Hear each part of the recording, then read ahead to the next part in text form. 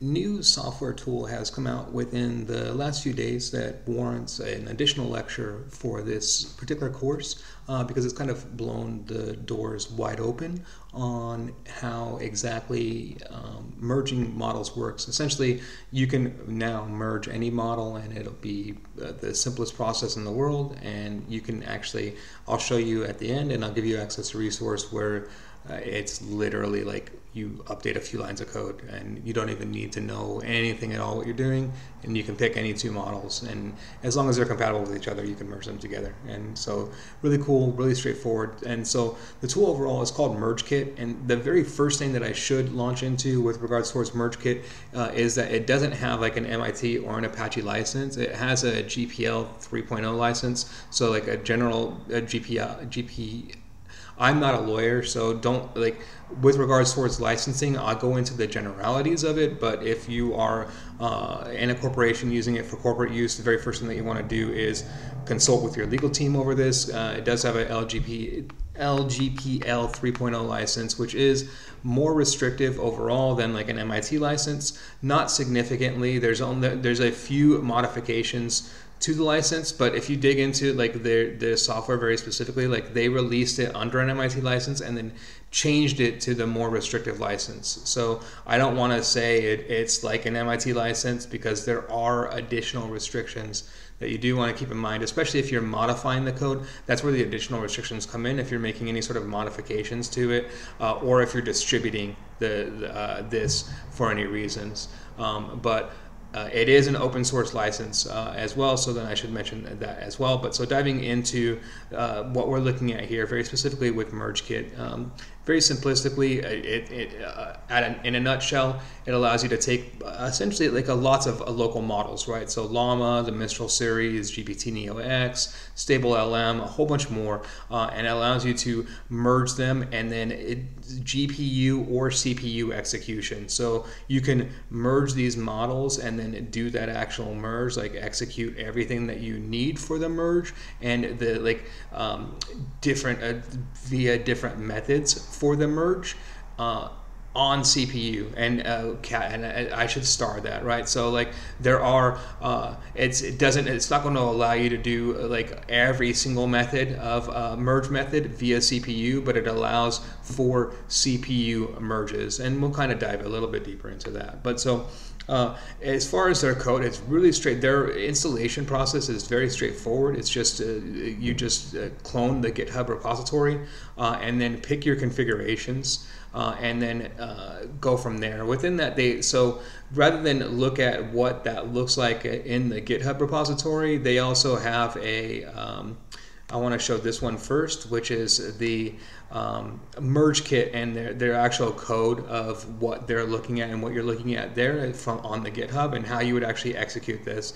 And then so it's very straightforward, right? And so like up front and just noting it that they do have it connected to a high RAM uh, system. And so like uh, it's not a free system like uh, the runtime. Uh, but so you can change to CPU um, and then essentially from there what we go through is uh, the very first thing that you do is you pick the models um, and then so it, it, says it here model merging requires a lot of RAM.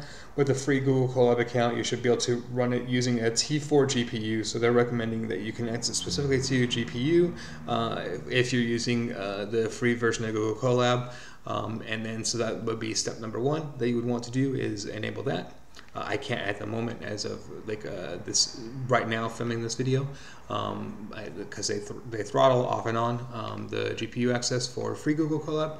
Uh, and then, but so going through the model itself, we have uh, essentially you pick the models that you want to merge. So in this instance, they have two models that they picked out: the Mistral 7B as well as the Neural Hermes 7B, which is a fine tune of the Mistral model. But uh, so it's merging two Mistral models, but two different versions of Mistral.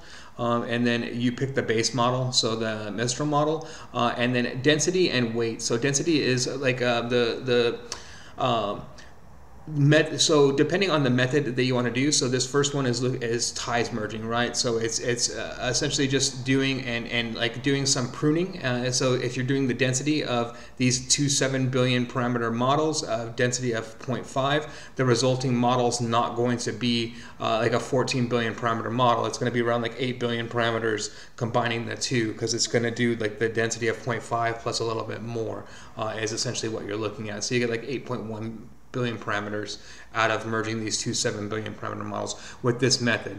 And then that changes depending on these different methods that you, you choose and you utilize, which is why they have the different methods. So that's why they have the ties merging, the SLERP, pass through, etc. And then these different methods give you different outputs. So just highlighting what, again, what ties merging is, for that it gives you a, like an 8.1 billion parameter model floating 16 uh, float 16 so you can and you can adjust and, and change these parameter types. So float 16 is uh, like automatic quantization quote float 32 float 16 float 8 uh, you generally don't want to go below 8 um, but so they're defaulting it to 16.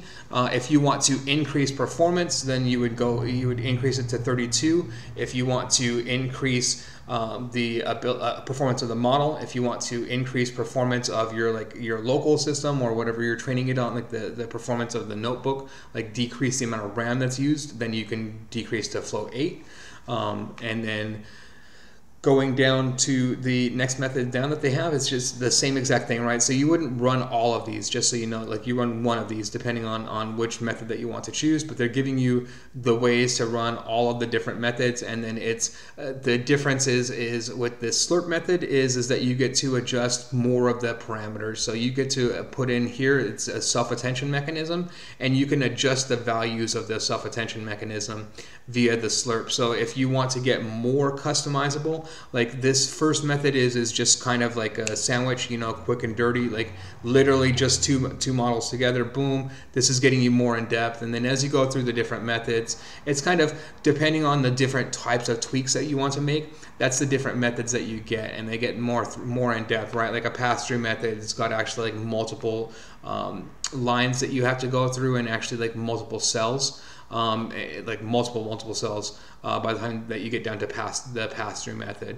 Uh, and then so it's just a matter of like uh, this is your quickest method. This is your like uh, you want to tweak a little bit and then this is like you want to tweak everything. Um, it's kind of generally how how it's laid out and structured here. Uh, and then within this you can tweak different the different parameters of the merge like the uh, different uh, attention mechanisms the different tokenizers the different decoders all of the mechanisms that go into the like and, and the uh, individual adjustable traits within this this merge kit library essentially gives it all in one uh, mini library which is why essentially this kind of just blows the doors open on all of this, right? Because it's no longer going through and on that like individual configurations and, and, and the trial and error. It's um, and then so the last thing and last resource to show you here is real quick, just uh, this Colab notebook, which is the Lazy Merge Kit, uh, and then so this makes it uh, even simpler and and so uh, essentially there's no um, nuance anymore with regards towards uh, like merging models. Like if you if your goal is to merge models at this point then you can do it until your heart's content. Like this this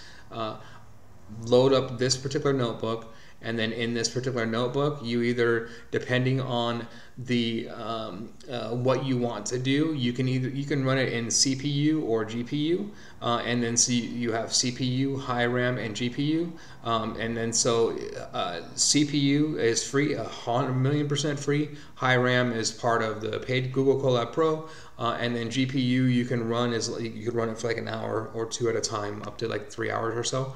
Um, and then you pick up your models uh, and then like literally just whatever models that you want to to, to run uh, and then you can right from here just upload your model directly to Hugging Face as soon as it's done right? So uh, it, it doesn't get any any easier and more simplistic than this. So it's uh, you want to create like um, 15 llamas. There you go. Like you just there you go. You know just merge them together easy merge kit. Um, and then now all of a sudden you, are a merging expert on Hugging Face.